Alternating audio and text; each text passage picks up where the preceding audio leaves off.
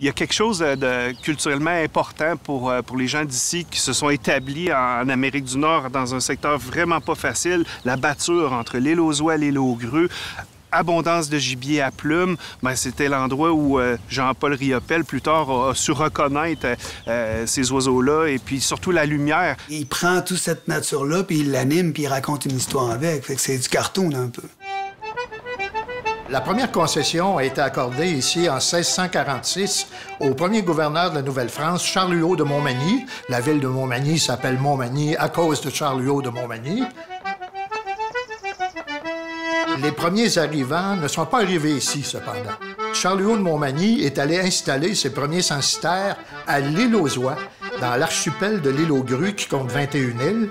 C'est une grande prairie naturelle, où il y a quelques boisés quand même, où on peut aller chercher du bois pour construire ses cabanes d'habitation pour s'établir, et aussi, bien entendu, du bois de chauffage. On est sur le chemin de la batture entre l'île aux Oies et l'île aux Grues. C'est le plus grand haut marais sauvage en Amérique du Nord. C'est un endroit où il y a 22 pieds de marée lors des plus hautes marées du mois. Puis lorsque la marée se retire, il y a abondance d'oiseaux. Il n'y a pas de prédateurs à quatre pattes. les oiseaux peuvent nicher, parfois même jusqu'à deux fois dans la même saison. Bien, pour les premiers Européens, c'était une chance, c'était une façon de, pouvoir avoir des réserves de, viande à sécher pour l'hiver, euh, avec la promesse qu'au printemps, les oiseaux allaient revenir. Un million d'oies blanches qui obscurcissaient le ciel. Euh, c'est surtout à partir euh, des années du début du 18e siècle où on voit vraiment arriver un grand développement avec les sœurs hospitalières de Québec qui achètent l'île d'un seigneur, Paul Dupuis, et qui se mettent à développer l'île, si bien qu'en 1809, elles ont vraiment restructuré toute la façon d'exploiter l'île. Et ça, c'est une date très importante. Elles ont fait construire des maisons par les habitants qui les ont habitées, mais qui n'étaient pas propriétaires. Ce qui nous mène à 1854, à l'abolition du régime seigneurial, qui en fait n'a pas été aboli à l'île aux Oies. Le régime seigneurial, entre guillemets, s'est terminé en 1964 à l'île aux Oies. C'est assez extraordinaire. Et euh, cette année-là, en 64, euh, l'île a été vendue au premier club de chasse euh, à la Sauvagine qui a occupé l'île aux Oies, le club Saint-Laurent. Pendant ce temps-là, sur la côte, ici, le développement se faisait, bien entendu. On était dans le grenier de la côte du Sud. Ça fournissait les céréales à, tout, le Bas-Canada, finalement. Après ça, ben, plein de monde sont venus s'établir ici. Pointe-à-la-Caille, qui a été fondée à la fin des années 1680, euh, a dû être euh, fermée parce qu'il y avait un problème d'érosion. Ce qui fait qu'aujourd'hui, on retrouve ici le cœur du village en haut, au sud, 4 km plus loin euh, de ce qu'il était originellement près du fleuve. Tout ça a évolué, il y a eu des marchands, il y avait plein de monde qui sont venus s'établir, des artisans et tout et tout. Et on arrive au 19e siècle où là, Montmagny devient vraiment un chef-lieu et c'est prospère. Et, date importante, 1867, hein? c'est pas que l'année de la Confédération, c'est l'année où vient s'établir Bélanger. Alors, les poêles Bélanger, je pense qu'à peu près tout le monde connaît ça. C'est devenu Inglis par après. Et ça, ça a été vraiment euh, le début de l'industrialisation de Montmagny. Euh, Étienne Pascal Taché, qui est considéré comme un père de la, Confédération, dont on a une magnifique maison ici qui est devenue un centre d'interprétation, euh, va à Charlottetown et fait partie de ceux qui discutent pour euh, signer la Confédération canadienne. Malheureusement, il décède avant que de pouvoir voir ses réalisations finalement. Ce qui est intéressant, c'est que Gilbert Normand, 100 ans plus tard, un peu plus de 100 ans plus tard, qui était maire de Montmagny, euh, qui avait peut-être une vision un peu plus culturelle des choses, ou en tout cas qui était sympathique à la culture, euh, décide d'inviter Jean-Paul Riopel pour occuper la maison Étienne Pascal Taché. Je l'agaçais, puis je lui disais que c'était lui qui était le chapelain de la maison. ben, on est dans plein cœur du centre-ville, euh, voisin de la mairie, en fait. Puis, moi, à ce moment-là, par contre, je pratiquais la médecine comme professionnel. La mairie, c'était pas un job à plein temps. Alors, j'avais mon travail de médecin avec mes responsabilités de main. Et euh, Jean-Paul comme ami, ça, c'était pratiquement un job à plein temps. Quand je l'ai rencontré la première fois, justement, c'était euh, à la fin de l'été, fin d'août, début septembre, au début de la, saison de chasse, où j'avais été euh, reçu chez lui à sa résidence d'été qu'on appelait la mairie, à l'île aux Oies. Euh, c'est la première fois de ma vie que je le voyais. Il était venu me chercher à l'aéroport avec sa voiture du temps qui, intriguait tous les habitants de l'île, qui était un énorme corbillard, Cadillac noir. il, y avait avait un banc en avant pour le chauffeur puis un passager. Puis Jean-Paul avait une chaise de parterre installée en arrière dans laquelle il s'assoyait. Puis ça brassait pas mal à Montmagny dans ce temps-là. On essayait de, remettre la, ville sur des rails économiques. Puis... Euh, il était intéressé à ce qu'on ait un dialogue ensemble. Montmagny, euh, à l'époque, l'hôtel ici, le Manoir des Érables, puis le Festival de Loi Blanche étaient les deux choses que la majorité des Québécois connaissaient de Montmagny. L'autre fois qu'on s'est vu, c'était au Manoir des Érables où on a pris un repas ensemble, en compagnie de Renaud Cyr. Puis là, les liens ont commencé à se créer tranquillement. Il venait ici parce qu'il aimait ça. Mon père était authentique, fait qu'il venait voir mon père, il passait par la porte de la cuisine. Tu sais, euh, ce, qui est, bien quand tu voyages ou que tu t'appropries des lieux, c'est que aussi que tu as cette, impression-là d'être chez toi ou d'être chez des amis. À partir du moment où il a commencé à résider ici, jusqu'à temps qu'il parte, durant, je dirais, les 60 quelques semaines, on mangeait ensemble au moins trois, quatre fois par semaine, les deux familles. Euh, quand c'était pas ici, c'était chez moi ou dans un restaurant de la ville. Mais on était souvent, souvent, souvent ensemble. C'était quelqu'un de très simple aussi. Ça, c'était... C'est pas quelqu'un de complexe à côtoyer. C'était quelqu'un de... qui aimait le monde, qui regardait les anecdotes, qui regardait les scènes humaines. D'abord, je Jean-Paul Riopel au sein de la municipalité parce que beaucoup, beaucoup de gens de l'international et du Québec, d'un peu partout, venaient visiter Jean-Paul. Quand, euh, en 91, il est retourné à l'île aux Ouaies, c'est là qu'il a peint la Rosa Luxembourg. Puis par la suite, ben, il a acheté le manoir Macpherson à l'île aux puis il a décidé de résider là en permanence. Alors Jean-Paul Riopel, finalement, avec toute son intégration de cette culture, de cette nature, euh, son amour des lieux aussi, bien, il incarne, il incarne la majesté, la grandeur des lieux ici, et il est devenu un ambassadeur mondial.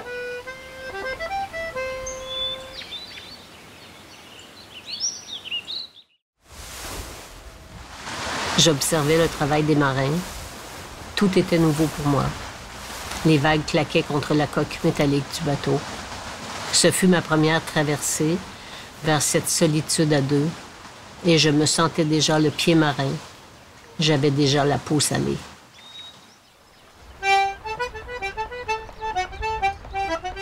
Mon mari était sur le traversier. Là, c'est là qu'on a eu des rencontres avec M. Riopel. Ben, c'est-à-dire qu'on l'a côtoyé euh, occasionnellement. Je trouvais qu'il était, il était un clapant, clapant. Tu il ne semblait pas que la vie. À un moment donné, il, disait, il travaillait, il travaillait. Tout d'un coup, paf, il disait, c'est fini. On, on, arrête trois jours. Il pouvait arrêter une semaine, deux semaines. Mais quand il disait, là, on travaille, il, il euh, tout le temps. Tous les jours, il fallait qu'il sorte. Hein. Tous les jours, j'arrivais le matin. Hein. Bon, Denis, hein, de soir, on prend un verre. Non, on prend pas un verre. Il faut monter au village tantôt, Colin, il y a Juliette, ben, prend pas son téléphone dans l'auto parce que son cellulaire, ça, elle avait rien que ça comme communication pour me parler. Parce que Jean-Paul, il n'y avait pas de modernité là-dedans. Il n'y avait rien de moderne dans cette maison-là. C'était l'eau, puis euh, du bois dans le point, point du coup. C'est tout ce qu'il y avait. Quand il est arrivé sur l'île, c'était l'île aux qui ont habité.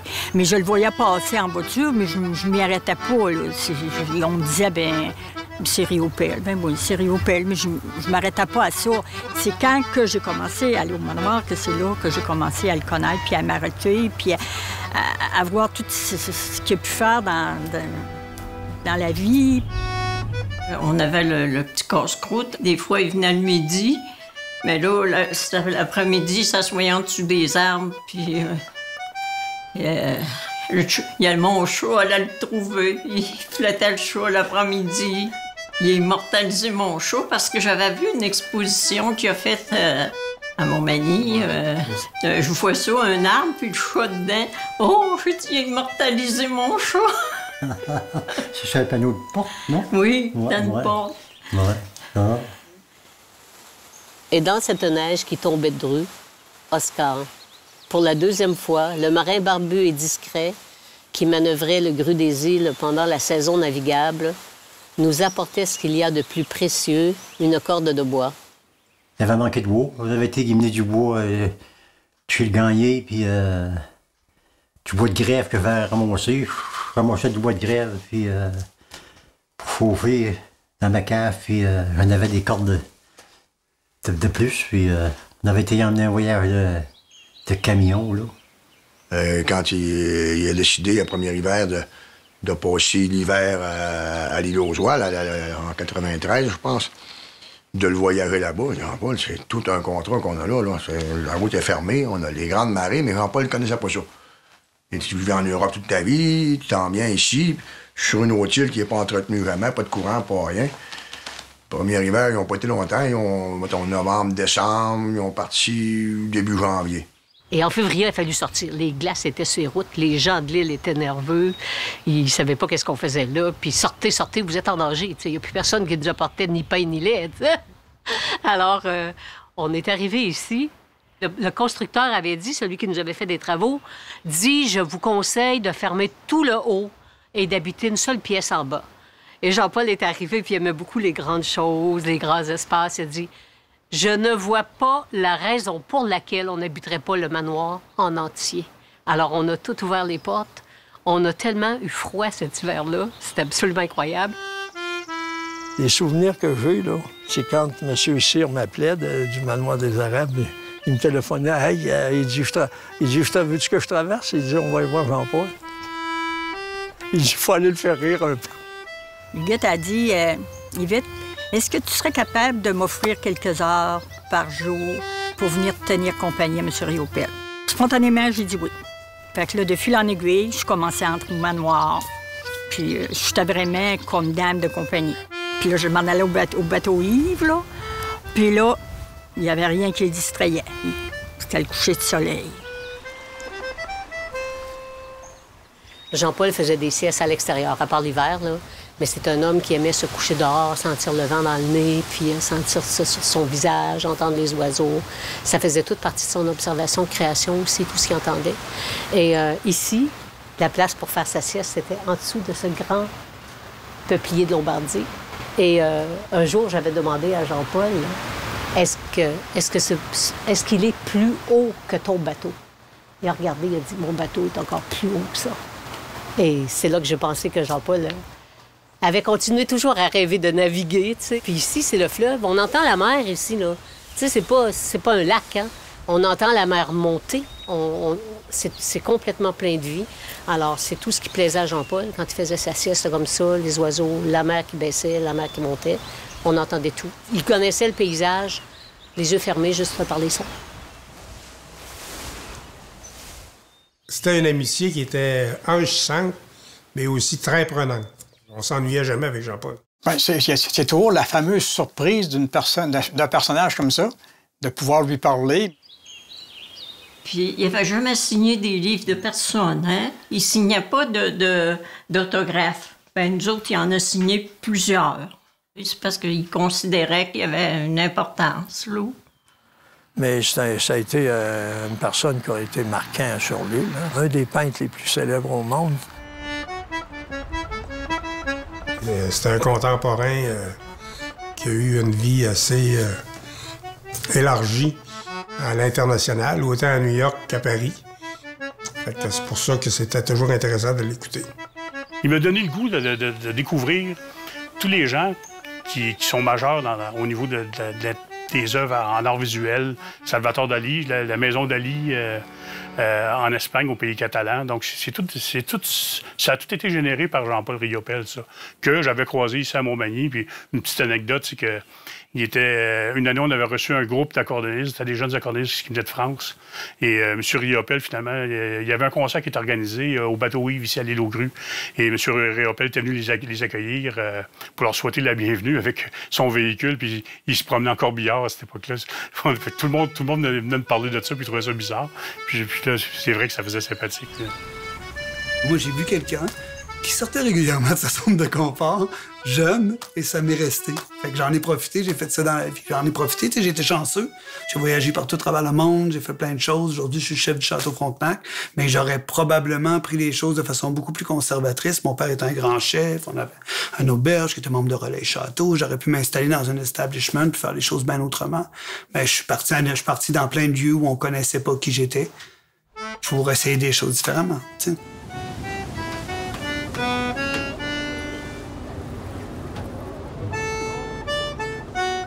Parce que bien souvent, euh, même quand ils traversaient, il y avait toujours quelqu'un pour l'aider. Je sais pas si c'était un préposé ou un infirmier. Il souvent, ils voulaient y parler. Ils faisaient monter sur le quai pour y parler. Mais des fois, ils ne parlaient pas. Des fois, ils parlaient, des fois, ils parlaient pas. Il aimait contester des choses, des choses qu'il trouvait trop imbéciles chez les gens, des fois. Tu sais, euh, des réglementations qu'il comprenait pas. Puis dans ce temps-là, il pouvait grogner assez contre euh, tout ce qui était autour de nous. Mais c'est pour ça que c'est un homme qui aimait plutôt être concentré dans ses choses et puis de faire des choses et non pas d'être négatif, tu. Pour ça qu'il a produit autant. C'est un des peintres qui a produit le plus. C'est incroyable. Mais j'aimais sa présence. J'aimais rester assis à côté. J'aimais le regarder. J'aimais quand il me regardait, ses yeux. les yeux, il parlait pas. C'est un homme qui parlait pas beaucoup, mais ses yeux parlaient, par exemple. Juste son, regard, là. On pouvait comprendre bien les choses dans son regard. Son regard et, sa poignée de main. Obligatoire à toutes les fois. Tu rentrais, tu sortais dix fois dans la maison. Il donnait la main tout le temps. Il donnait la main, puis sa petite main froide. Puis moi, j'ai des bonnes mains quand même. Euh, il donnait la main. Puis il le serrait. Puis il me semble, euh, je le sens encore. Ça, ça, ça m'est resté tout le temps, ça. On sait des fois ici le dimanche, il disait quelque chose. Il y avait un petit quelque chose sur son char, je sais que t'en parles. Non, non, on va vous le faire, on va le mettre tout de suite. On va, le faire tout de suite, tout de suite. On va vous faire ça tout de suite. C'était pas grand-chose. Il faut changer un wiper au bout de Des petites affaires. Il demandait un vieux siège d'une vieille machine. Il était venu, il y avait une vieille, vieille bâtisse en face du manoir, puis il avait vu dehors qu'il y avait une vieille moissonneuse avec un ancien siège d'acier, tout troué, qui voulait avoir, puis là, c'était pas de manchable, puis regarde, il est venu à la maison, euh, on va te le démancher, puis je te le descendrai, mon nez, ben, il n'y a pas de problème. Que là, moi, je savais pas jusqu'où ça irait, ça. Je pense c'était à 45 pieds, je pense. Puis là, bon, OK, je vais vous dérouler ça. Moi, j'avais ça euh, au sol en 100 pieds. J'avais ça des gros rouleaux. Fait que là, ben, j'ai déroulé ça. Puis, là, ben, moi, je savais pas, là. Moi, je pensais qu'il couperait ça, tu sais, puis que ça, serait des petites toiles. Mais non. Ouais, ben, Jean-Paul, il avait des grosses, grosses bûches, puis il m'avait demandé, il voulait avoir toutes sortes de modèles un peu. Des bûches euh, bizarres un peu, puis il y en a des bizarres, comme on peut voir en dessous, hein. Puis ça a fait, regarde, euh, l'a prouvé que, regarde, la, peinture est dessus, puis ça en est servi, puis tu vas mettre les vrais, vrais bûches sur, sur Rosa, puis c'est ça qui est là, là. c'est vraiment ça. On était invité au vernissage de Rosa Luxembourg. Puis on avait acheté toute la grande série qu'on développe. Là, euh, on l'a, là, aussi. Euh. On l'a en dessous du matelas depuis ça, là. oui, elle est en dessous du matelas parce qu'on veut pas qu'elle se froisse puis qu'elle se brise. Elle est en dessous de notre matelas. Quand il y a des expositions comme ça, comme l'exposition de la bibliothèque de Montmagny, je trouve que c'est des moments importants pour chez nous. Puis euh, c'est sûr que ça, là, c'est là, à ce moment-là, que les souvenirs reviennent. Ça a été un, bout de ma vie que, j'ai bien, aimé.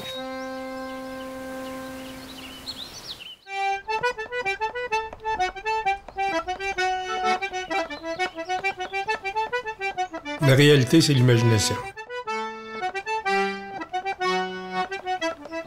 De cette génération-là, il y a eu très, très, très peu de gens ils sont une poignée de, peut-être une cinquantaine de personnes qui auront rêvé très grand à ce que l'art puisse changer la vie.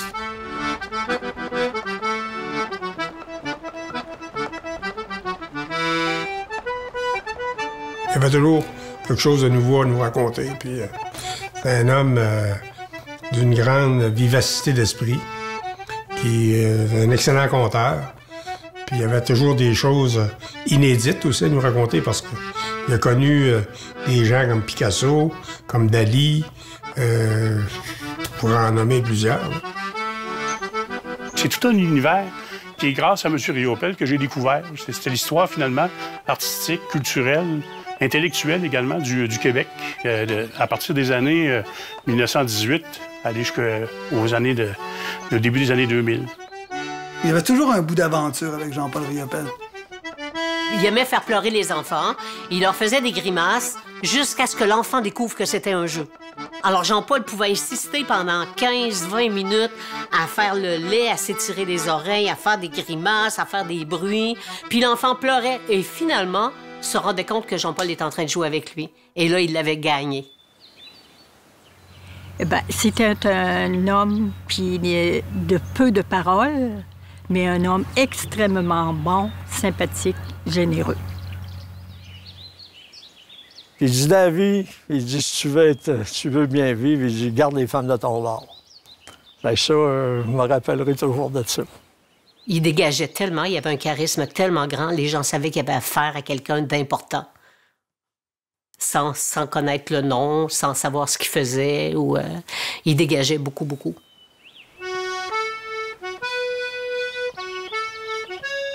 Tu peux toujours croire que, que- les problèmes ou que les belles choses appartiennent aux autres parce qu'ils ont eu de la chance.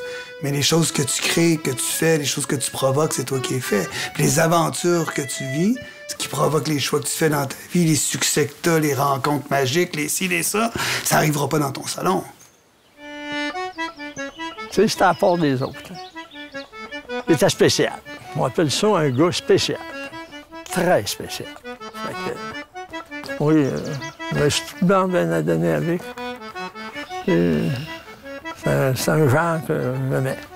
J'aimais ça. Parce que c'était, c'est un gars moderne. Il était fait à quoi? Hein? Ah oui, hein. Jean-Paul avait atteint une, une grande humilité, je dirais. Il s'était grandi comme humain, comme bien gens. Il savait qu'on était un grain de poussière, dans tout cet univers-là. Puis même lui, même s'il a traversé les continents, qui a été connu partout, puis qui était adulé, il restait cet homme fragile comme ça, qui avait peur de la mort, qui avait peur des séparations, qui avait peur de perdre des gens. Jean-Paul était un être complètement émotif, d'émotion, et puis il faisait énormément d'angoisse, oui. C'était pas un être tranquille, là. Euh, la vie, c'était pas un long fleuve tranquille pour lui. Moi, j'ai la profonde conviction que Jean-Paul Riopel voulait changer le monde. Qu'est-ce qui est au centre de son œuvre? C'est la Grande Oie Blanche. C'est l'âme de la région. Il allait chercher les détails et il les agrandissait. On regarde un cadre, une, toile, on regarde un cadre, ben là, l'œuvre, on, on voit l'œuvre en premier. Mais si tu vois le cadre en premier, ben là, euh, là c'est là que tu te dis que c'est un beau cadre. tu sais.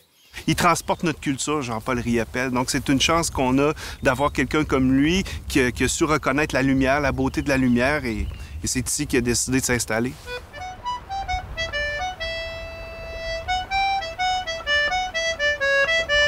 Il voyait, il voyait des affaires qu'on voyait pas.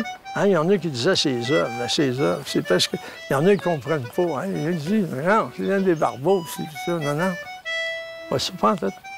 La grande majorité de ses œuvres sont faites, ont été faites à l'île aux même dans les années précédentes.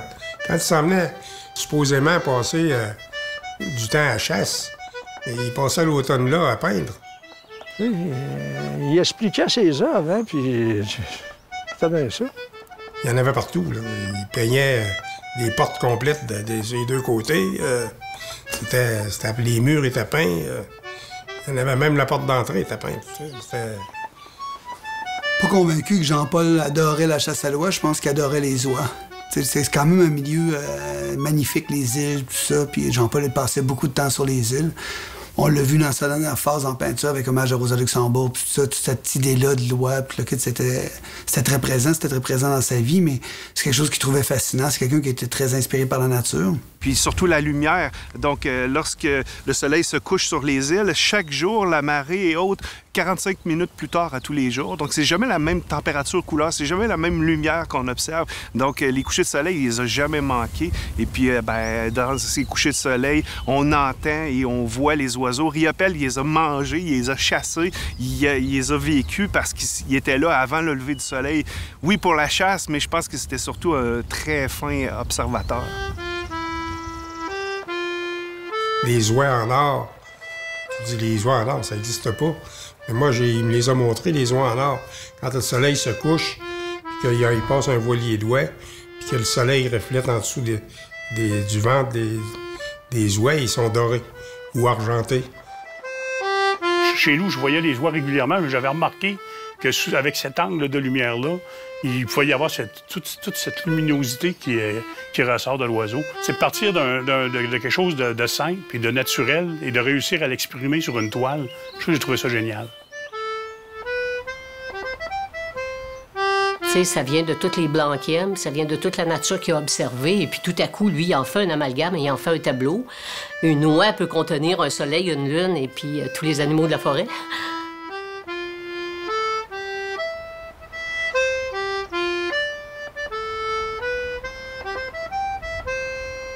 on a fait quelque chose en commun, mais jamais j'oserais parler de génie partagé ou rien de ça, ça n'a rien à voir. C'est vraiment, j'étais une assistante dans l'atelier, mais il m'a permis de faire les plus belles choses des fois sur ces tableaux.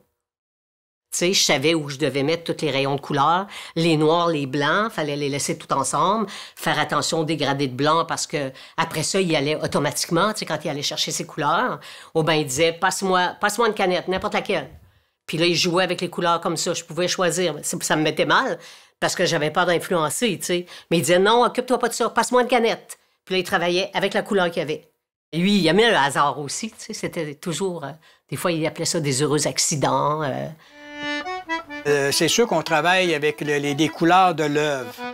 Chaque œuvre a, son encadrement spécifique. Le noir, l'argent. En général, c'est pas mal dans ces, dans ces tons-là. Là. C'est tellement étroit. Si on, met d'ailleurs un, carton là, euh, dessus, ben, on, se rend compte que c'est étroit sur le dessus. ça, permet vraiment le libre choix à, toute l'œuvre. Plutôt que d'arriver avec une moulure plus large, mais qui, quand même peut faire beau aussi, là, dépendamment du décor, puis de, dépendamment du goût de tout le monde. On peut mettre une moulure beaucoup plus large. Mais c'est dans le cas de Riopel, c'est tellement moderne qu'on est vraiment porté vers euh, les, moulures, étroites.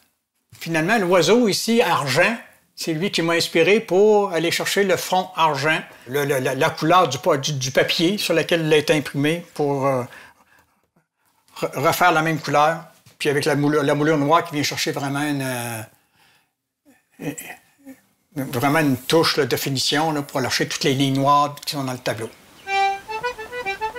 Depuis mille ans, finalement, la chasse à la sauvagine se pratique à cet endroit-là. Et Jean-Paul Riopel, étant un chasseur, lui aussi, un passionné de chasse même, et aussi un amoureux des oiseaux, a pu transporter ça à travers ses toiles, en faire une allégorie qui, aujourd'hui, fait que, par ses représentations, Montmagny, qui fête son 375e anniversaire cette année, en 2021, est devenu une référence en ce qui concerne Jean-Paul Riopel. Quand on, croise des gens aussi qui sont amateurs d'art visuel puis qui, nous parlent de Jean-Paul Riopel, ils, sont tous fiers. Quand on leur dit qu'on vient de Montmagny, euh, la région d'île aux tout ça, ben, ils sont tous fiers de, ça. Puis ça nous rend fiers, nous aussi, comme la raison, parce que Jean-Paul Riopel, c'est international. On est chanceux d'avoir euh, cette exposition à la Bibliothèque de Montmagny cette année parce que c'est des œuvres qui n'ont jamais vu la lumière, qui, pour la première fois, vont être vues par les gens de la région qui connaissent ou qui pensent connaître Riopel, mais lorsqu'on voit ses œuvres, on comprend qu'il a, bien lu, qu'il a bien vu la région, il a vu l'abondance des oies blanches. Il y a toute la faune, mais il y a aussi des indices qui racontent euh, notre passé, notre histoire. Tu sais pas de quoi l'avenir sera fait, comment on représentera Jean-Paul, comment on consolidera son œuvre pour avoir une collection euh, autour d'un musée ou d'un espace Jean-Paul Riopel avec le temps. Fait que là, on les a dans notre coin, on peut les voir, puis ils font partie de nos festivités, puis ils, appartiennent encore au lieu d'une certaine manière, ce qui sera peut-être pas toujours vrai. Fait que profitons-en, il faut sauter sur l'occasion.